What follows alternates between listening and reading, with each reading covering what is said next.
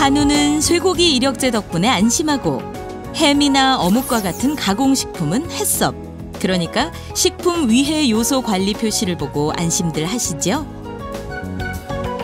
그런데 농산물에도 쇠고기 이력제나 햇섭 못지않게 깐깐하게 관리하는 제도가 있다네요.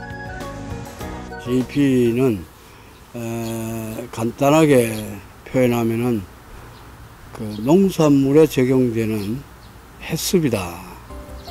GAP. 영어로 얘기하니까 좀 어렵고 생소하고 그러시지요? 지금부터 GAP가 뭔지 찬찬히 풀어볼까요?